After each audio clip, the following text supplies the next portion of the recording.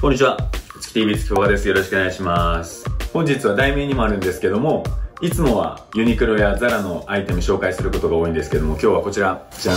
ワークマンプラスで買い物してきたんでこちらのアイテムご紹介したいと思います。ワークマンプラス知ってる方にも知らない方のために簡単に説明すると僕も今回初めて行ってきたんですけどももうここ数年 SNS 界隈でもファッション業界でももうすごい話題のブランドなんですけども知ってる方も多いと思うんですけどもともとワークマンという作業着を中心に販売してる、えー、お店があってそこが去年かな？今年去年あたりにワークマンプラスっていう、えー、少しカジュアルに寄せた感じの今までワークマンで培った高品質な作業服のノウハウをこのデイリーな、えー、カジュアルアイテムに落とし込んだのがこのワークマンプラスなのかなと僕は解釈してるんですけどもなんで割と普通に本当にデイリーに着れるアイテムがたくさん並んでました。もう僕も初めて行ったんですけどもすごい人でした。もう老若男女関係なくでワークマン女子って最近なんかよく耳にしますけど若い女性の方もいらっしゃいましたし本当年配の、えー、おじ様もおば様もいましたし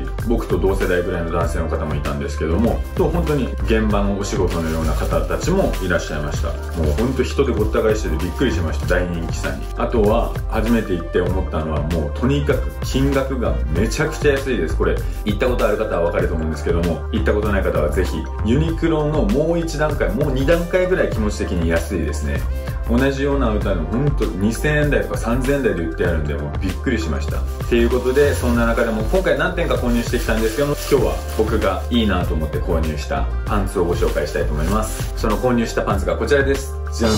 ァインドアウトのクロスシールドパンツです。サイズは L サイズを購入しました。金額が税込1900円です。色は黒を購入してます。なんか僕も初めて知ったんですけどもこのワークマンプラスの中に大きく分けて3つのコンセプトに分かれてるみたいで今回購入したファインドアウトというブランドとフィールドコアというやつとイージスというこの3つのカテゴリーに大きく分かれてるそうです。このファインドアウトというのは割とスポーティーに作られたスポーティーテイストのデザインが多かったり、まあ、実際にスポーツに使えるようなアイテムが多いそうです。こういった感じです。表地こちらポリエステルでできてるんですけども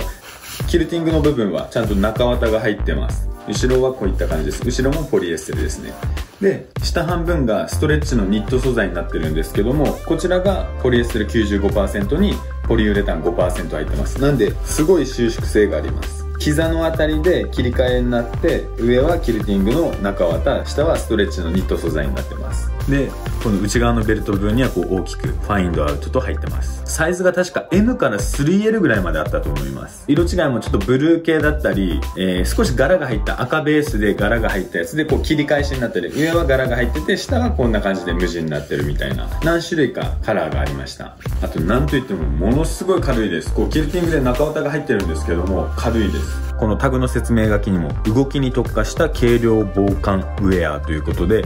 すごい軽くてなおかつ防寒に優れてるということだそうです。あとまず何といってもこれ1900円ですよ。税込みで。すごくないですか？ここまで安いと思ってなかったんで本当びっくりしました。もう一点一点安すぎてちょっと本当すごいびっくりしました。あとこれ動きに特化したって書いてあるんですけどもこの収縮性のある下半分のストレッチのニットの部分なんですけども股の内側にもずっとこうこう一周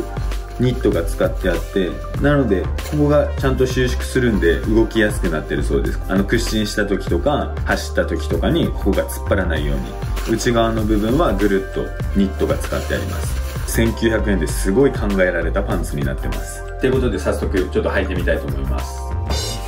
いかがでしょうか？僕身長1 7 8センチの7 0キロに今回のクロスシールドパンツの L サイズを着用してますまずめちゃめちゃあったかいのとめちゃくちゃ軽いです。これを購入したポイントはなんかこういう切り替えの感じがいいのとこういうキルティングで中綿が入ったパンツって珍しいんで普通のカジュアルなショップで買おうと思うとこういうのってなかなかないんでキルティングの感じとこの切り返しの感じが気に入って購入しました。あとこういう変わり種のパンツも1900円なんでこう調整しやすいですよね。でこの膝の部分にフィールドアウトが入ってるんですけどもロゴはちゃんと光に反射するそうです。あと最近あのトップスでもこういうこんな感じのキルティングのインナーダウンとかライトなダウンって多いじゃないですか。なんでそれのなんかパンツバージョンみたいな感じでいいなと思って購入しました。シュレットこんな感じで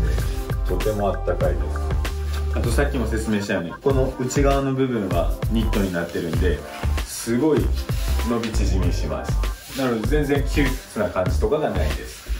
あとこれ他の商品にも言えることだと思うんですけどもサイズ感が結構ちっちゃめでした。なんでこの L サイズでも結構ジャストです。でウェアとかもほとんどもう 2L とか 3L で僕ちょうどよかったです。2L だとちょっとぴったりって感じで少しゆったり着たいんだと 3L 以上 3L とか 4L が良かったです。いかがでしょうか？でウエストはゴムになっててさらに紐でこう縛ることもできますちょっともう一パターン別のコーディネートでご紹介したいと思います。いかがでしょうか？トップスとユニクロとエンジニアのガーメンツコラボのプルオーバーフリースを着用してます。上は XL サイズです。いかがでしょうか？ちょっとオールブラックで合わせてみました。結構カジュアルなアイテムなので全部黒で合わせてあとはあのこう異素材を素材違いをこうミックスさせたかったんで上にフリースを持ってきました。色は一色なんですけども素材でこう3つの素材をミックスさせてみました。あとサイズ感はこれ上 XL で少しゆったりめで、えー、ボトムスは割と細身で。シルエットは、まあ、いつもよくやる上はラフな感じでボトムスはすっきり見せてみました。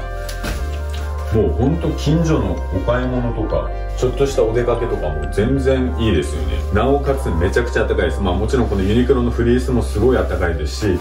ここ何よりこう中綿入ってるのでボトムスもこれ1枚でめちゃくちゃ暖かいですこのパンツポケットが2つ付いてるんですけどもポケットの中も若干起毛した生地になっててポケットに手入れるとすごいあったかいです。いかがでしょうか？ワークマンということですごい機能性素材が多いんで、えー、今回は素材をミックスさせてコーディネートしてみました。ということでぜひ皆さんもワークマン気になった方は行かれてみてください。ワークマンでさらに僕もまだ何点か購入してますし月ママも1点購入してますのでまた次回以降の回でご紹介したいと思いますのでチャンネル登録まだの方はぜひチャンネル登録よろしくお願いいたします。最後までご視聴ありがとうございました。